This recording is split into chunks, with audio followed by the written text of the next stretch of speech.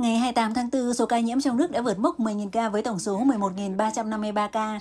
Trong đó, thành phố Tân Bắc cao nhất với 4.552 ca, tiếp theo là Đài Bắc 2.424 ca, Đào Viên 1.481 ca. Ngoài ra có 164 ca nhập cảnh và ghi nhận 2 ca tử vong. Trung tâm Chỉ đạo Phòng chống dịch bệnh Trung ương cho biết, từ đầu năm đến nay Đài Loan tăng mới trên 50.000 ca nhiễm, trong đó 99,7% là ca nhiễm nhẹ hoặc không triệu chứng. Theo Trung ương, tuyên bố từ ngày 28 tháng 4 bắt đầu thực thi quy định mua kit test nhanh theo tên thật, có hơn 4.900 hiệu thuốc hợp tác trong đợt đầu tiên. Người dân chỉ cần mang theo thẻ bảo hiểm y tế, mỗi thẻ được mua một gói gồm 5 bộ kit với giá 500 đài tệ. Theo quy định, số cuối của chứng minh nhân dân là số lẻ thì sẽ được mua vào các ngày thứ hai, thứ tư và thứ sáu, còn số cuối là số chẵn được mua vào các ngày thứ ba, thứ năm và thứ bảy, chủ nhật không hạn chế. Vậy trường hợp có người cùng lúc mang theo nhiều thẻ để mua hộ thì phải ứng phó ra sao? 对，我们希望来讲了哈，大概就是认卡不认人嘛哈，但是我们还觉得在排队的时候，哈，那还是一人一卡了，不要一人很多卡。像我收了七七八十张，然后一下就举了七八十份，好，那还是能够让它比较均匀的分配。Vào ngày đầu tiên triển khai quy định mới này, rất đông người xếp hàng dài trước cửa các hiệu thuốc, hệ thống đọc thẻ bảo hiểm y tế còn có lúc bị nghẽn. Nhắc nhở người dân có thể lên website của Sở Bảo hiểm Y tế tra cứu bản đồ kit test nhanh để xem lượng tồn kho của các hiệu thuốc gần nhà giúp việc đi mua thuận tiện hơn. Do số ca nhiễm tăng vọt sau khi hủy bỏ biện pháp điều tra dịch tễ vào ngày 27 tháng 4, Trung tâm Chỉ đạo Phòng chống dịch bệnh cũng tuyên bố quy định dùng điện thoại quét mã QR rồi gửi cho đường dây 1922 để đăng ký thông tin liên lạc đã thực thi gần 2 năm, tới nay chính thức chấm dứt và được thay thế bằng ứng dụng giãn cách xã hội Đài Loan. 它只是说在两公尺之内，那接触有超过两分钟，好就会显露，所以并不是密切接触者啊。当然，如果你现在在哦哦三十分钟、五十分钟，那当然自己就要很小心。Ông Trần Thái Trung cho biết, áp giãn cách xã hội Đài Loan phiên bản mới ra mắt vào hai ngày tới vẫn giữ phần tra cứu tình hình tiếp xúc F0 mỗi ngày.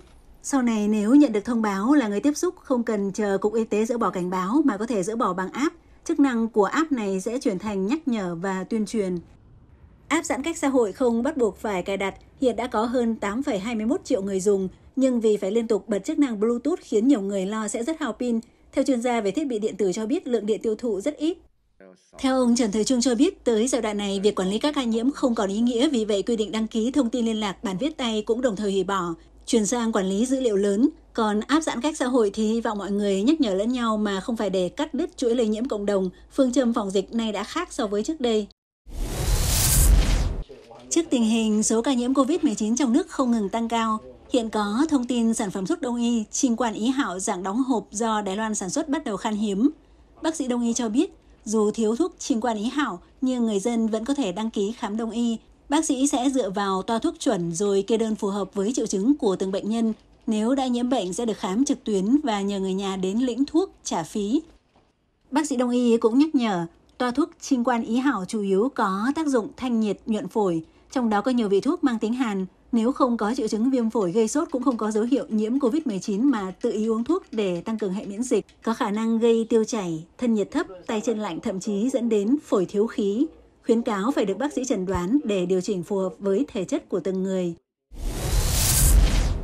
Đại hội đồng Y tế Thế giới WHA sẽ được tổ chức vào tháng 5 tới. Vào ngày 27 tháng 4, Hạ viện Mỹ đã thông qua đề án yêu cầu Ngoại trưởng Mỹ hỗ trợ khôi phục vai trò quan sát viên WHA của Đài Loan với số phiếu tuyệt đối là 425 phiếu. Đề án này đã được thông qua tại Thượng viện Mỹ vào tháng 8 năm ngoái, vì vậy sẽ có hiệu lực sau khi được Tổng thống Biden ký duyệt. Trong lời phát biểu, Hạ viện Mỹ đã khen ngợi biểu hiện của Đài Loan trong phương diện phòng chống dịch bệnh, không nên bị WHO bỏ qua, đồng thời cũng phê phán Trung Quốc gây sức ép cho Đài Loan. Despite the CCP's interference, Taiwan is a model democracy that makes the world a better place. The people of Taiwan deserve to participate in the World Health Organization. Ngày 22 tháng 5, Đại hội đồng Y tế Thế giới WHA sẽ được tổ chức. Các nghị sĩ Mỹ kêu gọi hãy để đề án nêu trên có hiệu lực càng sớm càng tốt. Bộ Ngoại giao Đài Loan bày tỏ cảm ơn và cho biết sẽ quan tâm mật thiết đến tiến độ của đề án.